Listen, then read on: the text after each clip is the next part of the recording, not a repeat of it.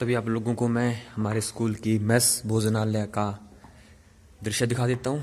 तो इस साइड से बॉयज़ बैठते हैं, ये बच्चे, लड़के आते हैं और बीच में ये जो हमारे टीचर्स हैं स्टाफ के लिए, उधर से लड़कियाँ आती हैं। तो यहाँ से ये काउंटर है, यहाँ से कहूँ कि भोजन बांटा जाता है। नवोदय वाले तो चीज़ को जानते हो जो नवोदय में पड़े हुए हैं मेरे दोस्त कुछ। तो ये अंदर का दिखा देता हूँ मैं जहाँ से भोजन बनता है।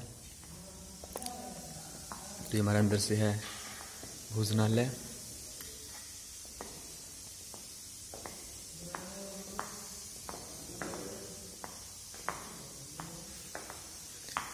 तो यहाँ पे देखो कहूँ कि तीन सौ, चार सौ बच्चों के लिए भोजन बनता है।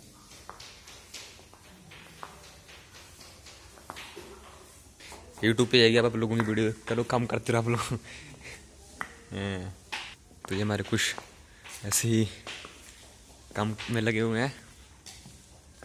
तो यहाँ पे सफ़ाई वगैरह हो रही है।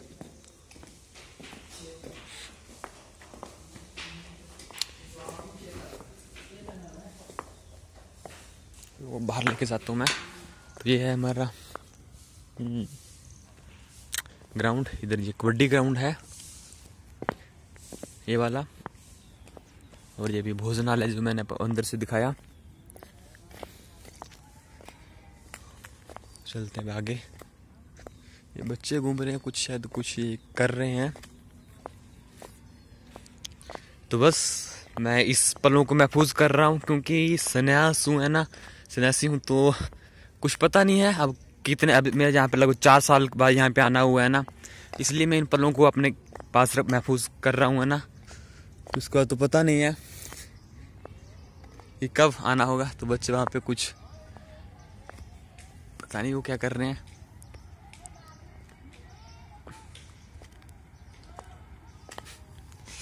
तो ये हमारा हॉस्टल है ना।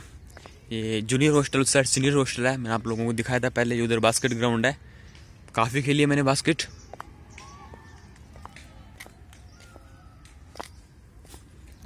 तो मैं सुबह दिखा रहा था, लेकिन अब एक बार फिर दिखा देता हूँ। ये है हमारा मेस है।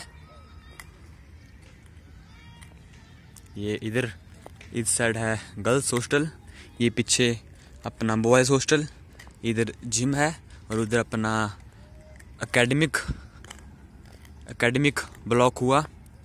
ये कैंटीन है, आगे प्रिंसिपल का निवास है, उसके आगे गेस्ट रूम है।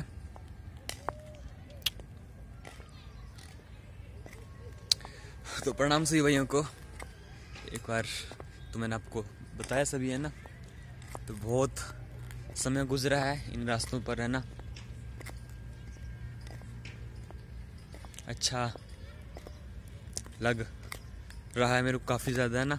इन रास्तों पर गुजर के। ये हमारी कैंटीन है।